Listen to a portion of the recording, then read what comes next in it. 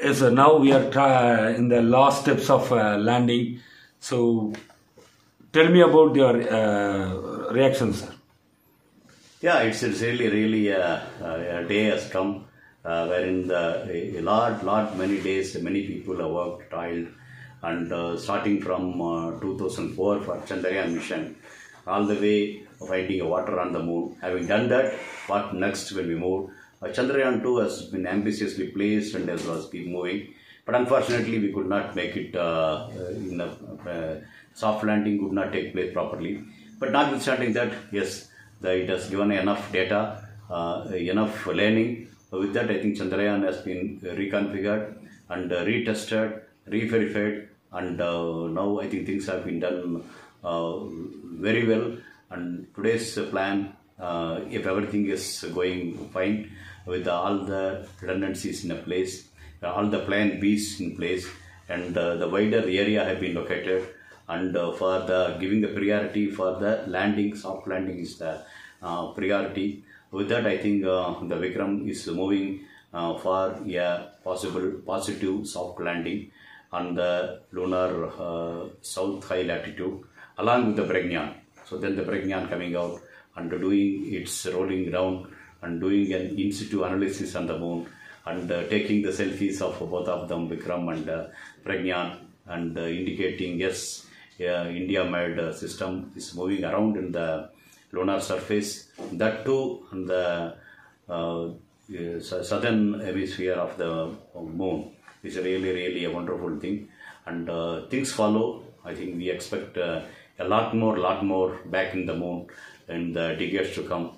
I think humanity is going to get a, a new boon, a new hope, uh, a new energizing uh, the both not only in science. I think the overall the humanity also. I, I feel I expected to gain a lot, lot more in this effort.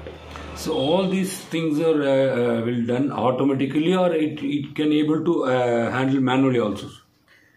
No, until landing on the moon is concerned, uh, uh, manual commands which have been already placed with the plan A, plan B configuration. Once given a cue, everything will go in automatically. But after landing, yes, uh, the subsequent operations will be uh, in a both more, more of more of a man in loop uh, configuration, uh, identifying when to deploy the Pragyan rover and uh, Pragyan rover how to move and when to take the photos. I think all the things uh, and when to operate each one of the instruments, all the things will be uh, man in loop from the ground commands. Challenge for this mission, sir. Uh, I don't expect because uh, an abundant precaution, uh, the system will be switched off uh, in, a, in, a, in a very big height. Uh, so because of that, and yes, they are also not very much there, and uh, not much I, I expect there. Uh, Because in abundant precaution, things will be the thrusters will be switched off and um, in, in a high in a height. From there, it will allow to fall in a free fall. So because of that, uh, the expected uh, issues on the dust is not expected much in this. Under your leadership, Chandrayaan 1 uh, found the water on moon.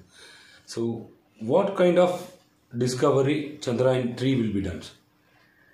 Okay, Chandrayaan 3, fa- fa- first and foremost, is the in situ analysis. Chandrayaan 1 is more of a remote sensing. So, Chandrayaan 2 is in situ, it's confirm whatever Chandrayaan 1 has is okay in situ.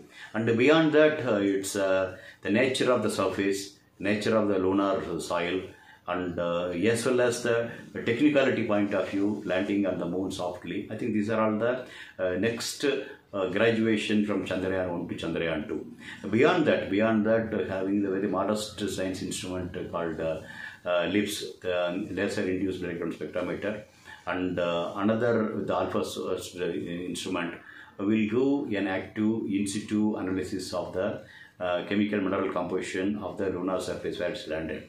So, uh, fingers crossed, uh, hope look for uh, some anything new in this mission or consolidate whatever we have seen in the uh, previous mission.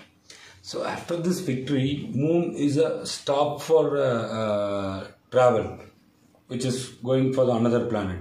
It will be thing or uh, நான் தமிழில் கேட்டுறேன் sir எனக்கு ரொம்ப English வரல இது வந்து ஒரு ஸ்டாப்பாக இருக்குமா இல்லை நிலவுக்கு மனிதனை கூட்டு போகிறதா இருக்குமா இல்லை வேறு கிரகத்துக்கு மனிதன் வாழக்கூடிய இடம் இருக்கா அப்படின்னு கண்டுபிடிக்கிறதுக்கான ஒரு ஸ்டாப்பிங்காக இருக்குமா No, various possibilities exist. Various possibilities exist. One possibility being, uh, why can't this uh, lunar uh, base can be an alternate for the uh, lun- uh, international lunar international space station around the Earth instead of uh, having a low Earth international lunar space international space station, which needs to be refurbished uh, every year we have to push it with the amount of fuel and maintenance is a very costly. Instead of that, why can't we have a, a lunar space station to start with?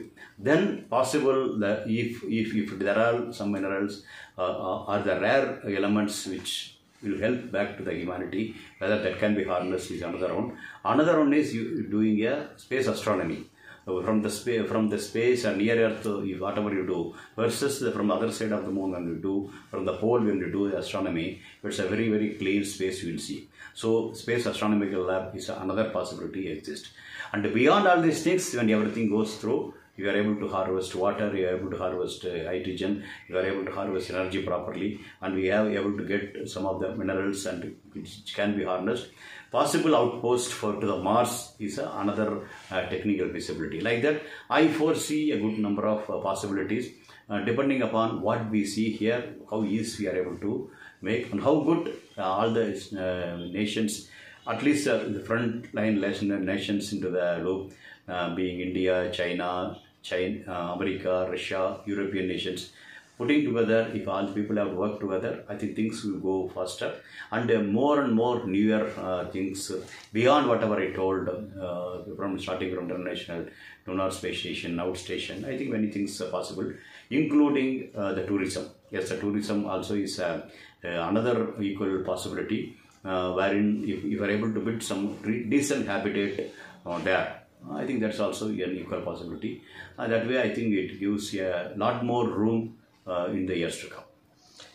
பல நாடுகள் நிலவுக்கு செயற்கைக்கோள்களையும் விண்கலங்களையும் அனுப்பினாலும் கூட இந்தியாவின் விண்கலங்களை உற்று நோக்குகிறது உலக நாடுகள் இதுக்கான காரணம் என்ன இந்த வெற்றிக்கு பிறகு சந்திராயன் மூணு வெற்றிக்கு பிறகு இந்தியா இஸ்ரோ உடைய இடம் என்னவாக இருக்கும் உலக வரிசையில் Okay, basically, India is not doing uh, competing with anybody else, but India competes with its own uh, Chandrayaan 1 to 2, 2 to Mangalyaan, Mangalyaan, Chandrayaan. It's like that. It's a competition. Uh, how effectively, how uh, economically we can make the missions, how compact we can make the mission, and make sure that mission succeeds. I think that way, I think we, we are uh, making our own milestones are really the things for the uh, to come. And again whatever whatever we are learning here i think we are feeding back to the other missions like remote sensing communication navigation uh, to make it an affordable point of view. That way i think uh, uh, we have done reasonably well. This point is being uh, looked uh, uh, from the other nations.